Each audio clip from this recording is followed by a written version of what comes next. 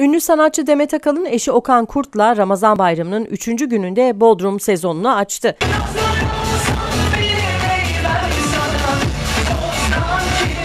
Ünlü sanatçı Demet Akalın, DJ'lik yapmaya başlayan eşi Okan Kurt'la Gümbet Barlar Sokağı'nda faaliyet gösteren Paşa Club'da sahne aldı. Akalın hayranları mekanı saatler öncesinden tıklım tıklım doldurdu.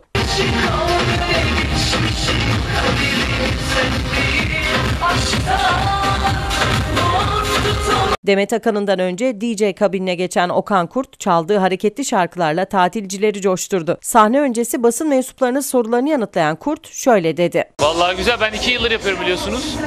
Bu sene biraz daha pekiştirdik. Paşa Kulüp'le anlaşmamızı imzaladık. Paşa Kulüp'te ilk gecemiz. Bakalım inşallah bu gece bayramın üçüncü günü. Bayram tadında bir gece olacak. Önce ben bir performans sergileyeceğim. Sonra işim Demet Hanım çıkacak.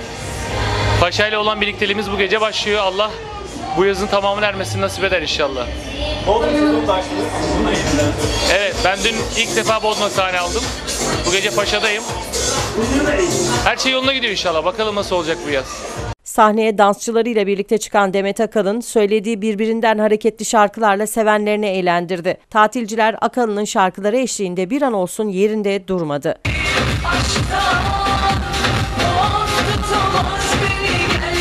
Şarkı aralarında hayranlarıyla sohbet eden ünlü sanatçı, mekanda kimlerin doğum günü olduğunu sordu. Hayranlarından birinin el kaldırması üzerine Akalın esprili bir şekilde getir lan kimliğini, yalnız bugün doğum günün değilse fena bozarım dedi. Demet Akalın konseri gece geç saatlere kadar devam etti.